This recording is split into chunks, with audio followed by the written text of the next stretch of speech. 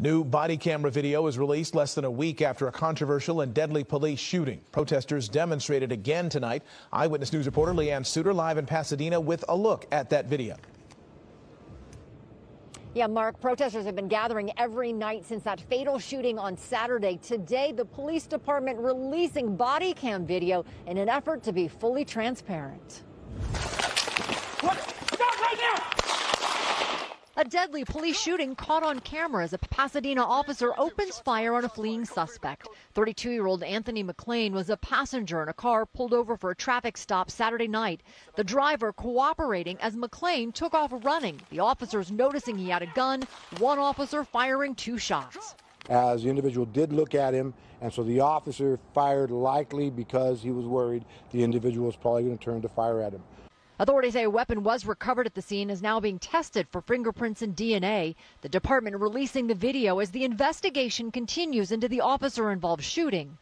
Protesters continuing to call for justice. Some say the video isn't so clear cut, the weapon not clearly visible in his waistband. It looks more like um, he was shot because he was fleeing and less of that he was a threat.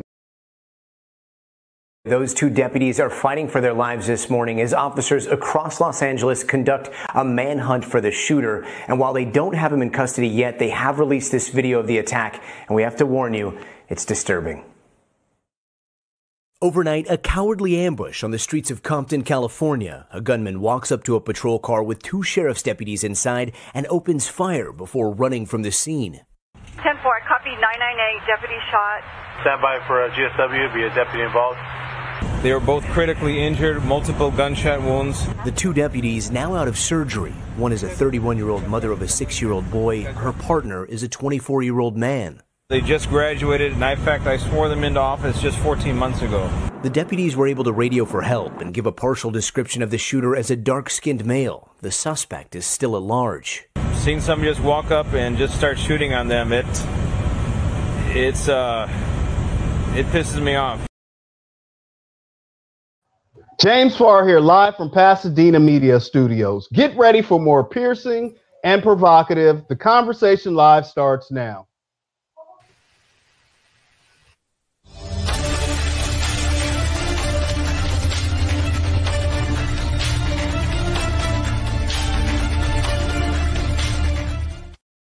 And welcome to another episode of The Conversation Live. The Conversation Live focuses on social justice, restorative justice, inclusion, and equality. Coming up today, Jackie Lacey and George Gascon are both in the seat. We're going to have a critical and possibly uncomfortable conversation. I want to talk with both of them about their record as district attorney, both in San Francisco as well as Los Angeles. We want to discuss why voters should be casting the ballot for them this November 3rd. Also, I want to take a look at a couple of officer involved shootings as well as their understanding of AB 392. And we want to talk about the alleged executioner gang out of the Compton, Los Angeles Sheriff's Department division. Uh, let's go ahead and welcome uh, Mr. Uh, Gascon into the seat first, and uh, we'll talk with him. Mr. Gascon, how are you, sir? James, I'm doing very well. Thank you. Good. How about I'm, yourself? I'm, I'm doing well. Uh, under these difficult and certainly challenging times that we, you know, societally we're facing. Uh, but one of the things I wanted to, to talk with you, we kind of saw Chief, excuse me, the sheriff, make those very passionate comments following the blue line ambush of two deputy sheriffs uh, who seamlessly were just doing their job. Why is it that we don't see that level of passion from either a district attorney or sheriffs, police chiefs, when unarmed African American, unarmed citizens are gunned down by the police. What's your take on well, that? Well, I, uh, yeah, I, I think, look, I mean, first of all, you, it depends, right? Because I have been very outspoken in some of those issues, including some of the shootings in my own uh, jurisdiction, where I felt that the shooting was completely unnecessary and prompted me to be the only district attorney in the state to work on state law to actually change the way that we look at the shootings. But I think that the you know the the problem that we often see is the the sort of the divide that exists between law enforcement and in many segments of our community and and that us against them that is completely uh, overtaking the dialogue in so many places. I mean, look, even if you look at a police publication like the LAPD uh, Police Protective League, the, the title of the, the, the publication is A Thin Blue Line, mm-hmm. right? It, it's a culture that feeds into creating a division. Um, and, you know, some lives are more valuable than other, right? And that, that I think it, it raises the problems that you pointed out. Instead of saying, you know what, violence, regardless of the source of it, uh, is unacceptable, it should be uh, passionately opposed, and that we should be caring for people regardless of whether they happen to be in uniform or not. Then I think that that is a problem that we have today, and you know, it points out to what what you very obviously see. Mm-hmm. I mean, because we, we often see or hear in media, uh, even me, the media, and I'm a part of it, but there's this humanization of the officers. And I, I do not condone the violence. I'm not with that. But there's this humanization process that just simply isn't uh, afforded to uh, uh victims of violence when the police are behind it. I mean, as as district attorney, is that language that you're going to work to uh, kind of correct and change?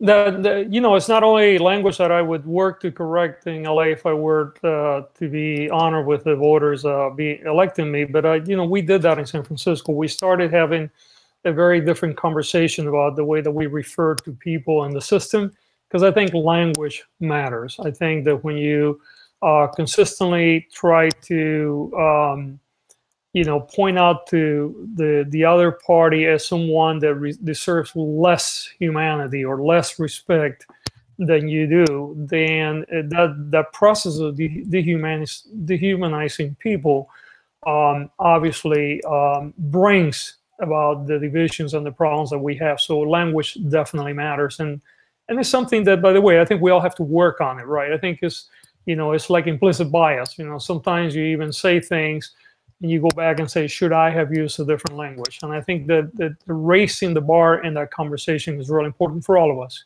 Mm-hmm. let's let's i want to switch up because i want to talk a little bit about uh, ab3 uh, 392 let's go ahead and roll in this uh, next clip so we can bring the audience up to speed. And i want to talk to you about some hypotheticals around ab392 Some Democratic lawmakers in California want to make it the first state to significantly restrict when police officers can open fire. The proposed legislation is in direct response to last month's deadly police shooting of Stephon Clark. He was not armed at the time. Carter Evans is at the California State Cap- Capitol with more on this story. Carter, good morning to you.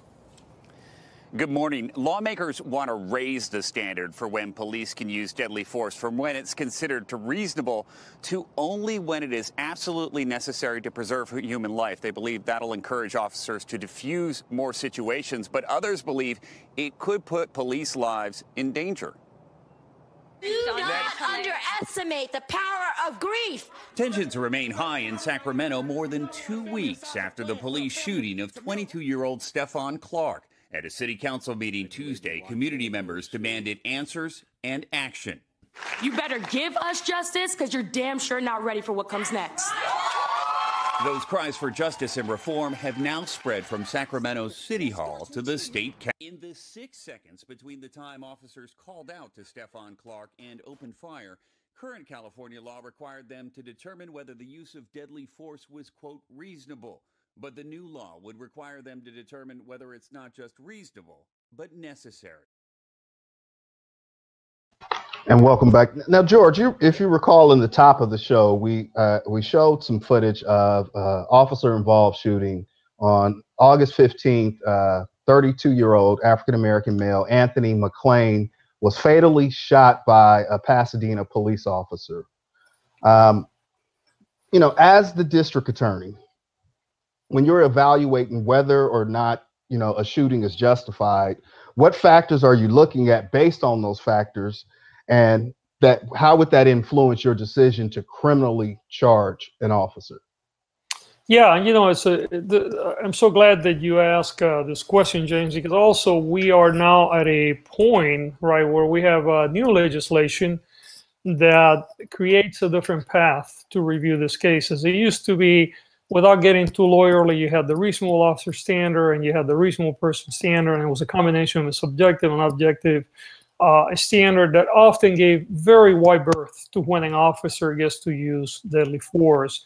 Um, the new law, which by the way, I was the only district attorney that that, that supported the law, and actually on the early stages when it was minimum and necessary. And you know, police lobby worked really hard and district attorneys to get rid of the minimum part of it. Uh, so we have a, a new standard that is called necessary. It has not been tested by the courts. Uh, but I, the way I interpret it, and I, if I were to be elected, I plan to take a very robust look at this, would be that in evaluating the totality of the circumstances, was a shooting necessary? Were there other things that could have occurred uh, in order to avoid the shooting? And uh, I think that it's going to be very important for district attorneys to take a very, very broad view of this policy and this new law, if you will, and and see how the courts are going to react to to that interpretation. I can tell you that there are very different points of view here, right? I think that the people in the civil rights community believe that this is going to make it uh, easier to prosecute cases where officers use force that shouldn't have been used, and and I know that many people on the police uh, line, the legal side, they're telling police officers, "Don't worry about it. Nothing has changed." So it really is going to be a very interesting process as we move forward in the next Well, few years. When when you look at that uh, uh, critical incident video that was released by the Pla- Pasadena Police Department, I mean, do you have an opinion uh, now that was it necessary? Yeah, you know, I and again, I I want to caution that I, obviously I don't have all the all the information before and after, and sometimes you know, law enforcement, like human beings, try to do. We try to paint things in the most favorable possible light to our point. So we're seeing a guy that you know appears to have a gun and he's running away. But I think a question that you have to ask is: Is it simply because someone is running away with a gun with no additional information? I mean, we don't have any information. He shot anyone, that he killed anyone, that he's about to kill anyone. Is that enough to open fire and use deadly force? Especially in a society where we have so many guns, and you know, people often have guns that they are authorized to have. Um, so I would say that I would look at that video, and I have a lot of questions of whether that was a necessary shooting. Okay. Uh, I want to transition a little bit more because we're going to power through this. Um, I want to talk about Black Lives Matter and your relationship to uh, Black Lives Matter, uh, Los Angeles, and uh, kind of get some feedback. I got to go, got to call this last, this next clip up. It's uh, District Attorney Jackie Lacey's husband and an interaction with uh, Black Lives Matters organizers at her home. Let's roll that in, Jared. Get off of my porch right now. Get off. Good morning. Get off of Are you my porch. shoot me? I will shoot you. We, we are told that that was David Lacey back on March 2nd. State Attorney General Xavier Becerra has charged him with three misdemeanor counts of assault with a firearm. Jackie Lacey later apologized on his behalf, saying that there had been several threats on their lives. Lacey faces a tough reelection race in November. Several prominent politicians have either rescinded their support or have endorsed her opponent, George Gascon. Well, DA Lacey issued a statement which reads In part, protesters arrived at my house shortly after 5 a.m. while I was upstairs. My husband felt that we were in danger and acted out of genuine concern for our well being. Melina Abdullah, who was one of the people threatened, also released a statement saying, Anyone else who pulled a gun because they were agitated, then spoke the words, I will shoot you, would have been immediately arrested and charged with And that clip closes out charged with a felony. Do you think those charges were warranted, George? Well, and, and you know, I, I want to be circumspect only to the to the ask that I don't want anybody to accuse me of trying to influence the jury decision here. But I have to agree with the with the statement that was made by Dr. Abdullah that you know most other people, certainly in LA County, would have been immediately arrested uh, if they pointed a gun at a group of people. The question is, um, you know, is the level of prosecution adequate in this case? I, you know, again, I don't know uh, the record of Mr. Lacey. There's a lot of information that I don't know, so I don't want to second guess the Attorney General at this point. But I do agree with the statement that was made by Dr. Abdullah that most people in this county would have been arrested, and certainly uh, they would have been filed uh, for pointing a gun at other people. Okay. Um, there have been to date about 622 um, people that have been killed by police in the county since uh, Deputy, excuse me, District Attorney Lacey has taken uh, office. Do you plan to reopen any cases and kind of reevaluate and see if charges should be filed when you're in office? And if so, can you be specific? Yeah, so and I, you know, I want to be very careful because I don't want to have myself being conflicted out if I get uh, elected. But I have a group of civil rights attorney that are part of my uh, team, uh, and we're looking at cases that we believe that uh, the the circumstances surrounding the the shooting uh, certainly deserve a second look.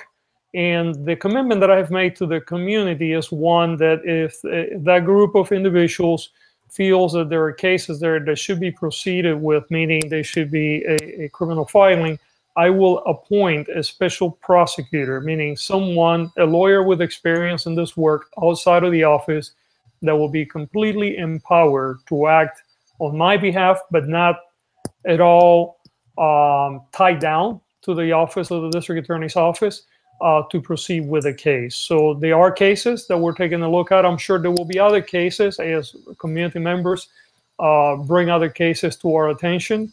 Um, and uh, I think that you know that that is important that we do that kind of work.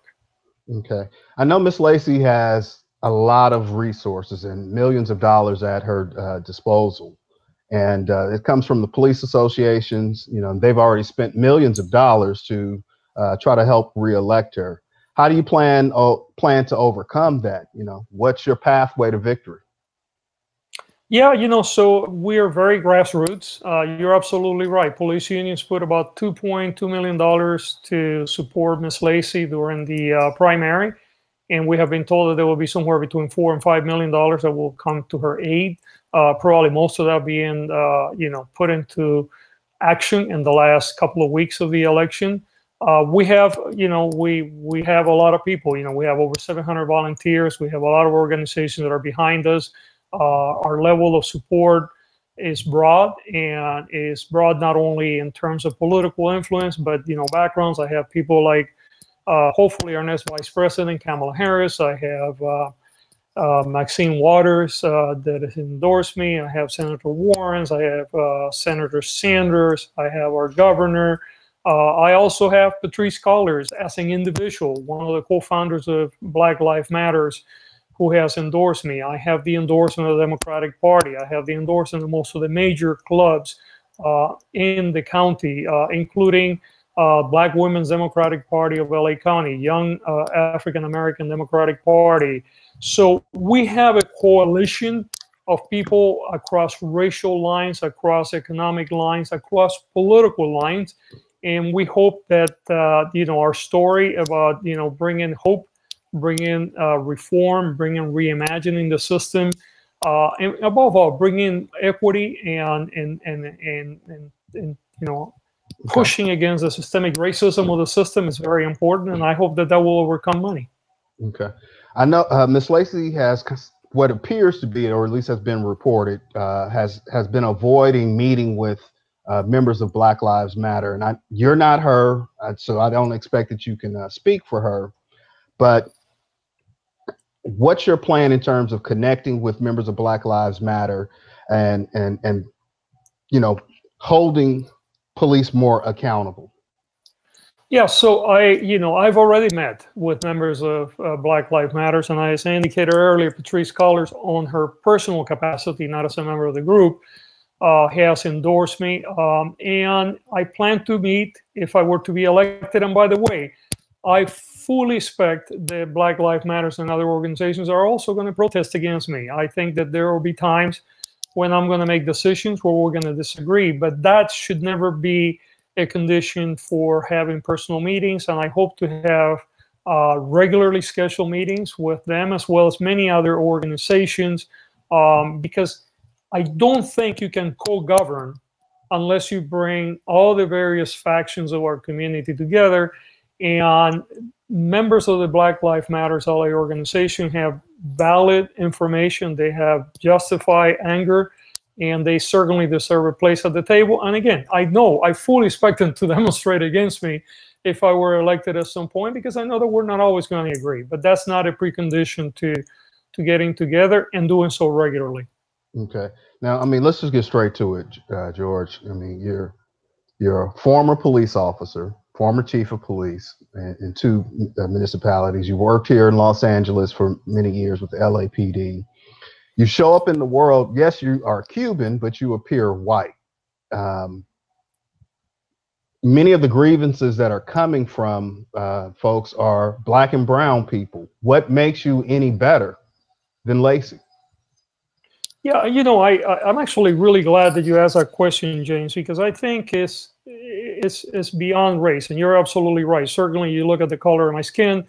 Uh, I look white. Um, you know, uh, my family immigrated here. We struggle like many other immigrant families, but I, I get the, the the physical appearance. But I think that what is important is, uh, and I'm going to you know, kind of, you know, sort of paraphrase Dr. King, you know, about, you know, judge me by the, the, the strength and the moral of my character, not by the color of my skin. And I think is look at the work that I have done. Look at my personal evolution. Look at where I came from, what I've done throughout the years. Look at the work that I've done as a district attorney. You know, people refer to me as a grandfather, or sorry, the godfather of progressive prosecutors, and they do so because there is a body of work there fighting against the death penalty, being a co-author of Prop 47, creating tools to remove race, artificial intelligence to make sure that when the prosecutor is looking at a case, they don't know the race of the people involved. No one, the police officers, the witnesses, the the victim, the assailant, and they have to make a decision without knowing the race before they open up. And that first decision is actually locked in and it's available for review by others uh, automatic expungement of criminal records, commitments to, you know, having been the first district attorney that went into San Quentin in 2012, sitting down with lifers, being part of Prop 36, having formerly incarcerated people working in my office, having the most diverse office in the state, and not because I said so, but because Stanford Law School went out and did a uh, an analysis of all the uh, DA's offices in the state, and we were deemed to be the most diverse office in the state uh, of large offices. So I well, say well, to let you. Me, let me ask, because I yeah. know we're gonna we're gonna push through this. What do you say to your critics that say you've never tried a case? You know how you know, how, and, how are you qualified to actually? I mean, this is the largest county in the United yeah. States by population. You're, you're potentially having impact on the largest county jail system in the United States, you super you would be supervising the largest prosecutorial office in the United States, but you've never tried a case. How does how does that how does one do that? Yeah, you know, actually, very easily. When you walk into a, a airline counter, uh, I know that hardly anybody will ever ask and say, "Has a CEO actually flown a 737?" But the reality is that most of the people around airlines have never flown a commercial airliner, but they are there because they have proven themselves to be effective executive that can run that organization and do so profitably. I have a long track record of running organizations, large organizations, and doing so successfully. I was the DA for nine years in San Francisco. I brought crime down. I was able to lower incarceration. We had the only county jail with consistently somewhere around a 30% vacancy. LA County incarcerated four times the level that I did, and yet crime is up by 30%, violent crime. LA County is plagued, plagued by lawsuits internally, women of color for suing successfully for racism, for sexual harassment. We did not have those problems in San Francisco. You're not hiring a trial lawyer. You are hiring an executive to run the largest prosecutorial office in the country. And if you measure the success of a leader by the capacity to get work done through others, then I think I would be far superior than the current occupant of that office. Okay, so a lot of people are saying on the other side, the, the police side or police supporters, that um, this anti-cop, anti-law enforcement uh, rhetoric, if you will, that that we hear, uh, increases situations where we have ambushes of law enforcement or crime in the city or violence in the city increases because police uh, pull pull back. Do you share that uh, that opinion, or what are your thoughts on that? Look, I don't. I think that obviously we need to lower the, the tone of the uh, the incendiary language, uh, starting with the White House, all the way down. But you raise a really important point at the beginning of this program, and as you and you ask a question that many people ask and that I that that I agree with, we need to begin. All of us need to be angry when violence is visited upon any human being, right? But when we are only loud when police officers get injured, which is a tragedy, by the way, and I do not condone it whatsoever, and I, you know, the individuals responsible for that should be brought to justice. But we should have the same level of anger when a an unarmed black person uh, gets killed by police and there's no clear, reasonable reason why that occurred. So that anger has to be equal, and we all have to be able to say with a straight face that we care about everyone on an equal basis. And until we do that, you know, you're going to see some of this language. And I think that, quite frankly, as as public officials, we have a higher responsibility of keeping civility in the conversation. Uh, certainly, if I would be, if I were to be elected district attorney, I would hope to be a leader in that conversation. But I think it's it's important to understand why people are angry and not dismissing that and then saying, "Oh well, you know, you're you're raising the level of violence here," when there are so many other people in the community that have been, you know, arguably okay. uh, unjustifiably killed, and and you don't see the same level of anger coming from law enforcement. All right, let's let's switch up gears. I got a couple more questions to get through. Jared, we are going to go just a little bit over, so uh, please bear with us. Uh, I want to set up this next video. It is uh, the alleged executioner gang out of the Compton Sheriff's Department division. Let's go ahead and roll that video in, and we'll talk with George on the other side. Now to more on an Eyewitness News investigation, the alleged sheriff's deputy gang that has branded its members the executioners. Today, city leaders in Compton say they're fed up. They're calling for a federal investigation. And as Carlos Granda reports, the mayor of Compton herself is speaking out about her own harrowing experience.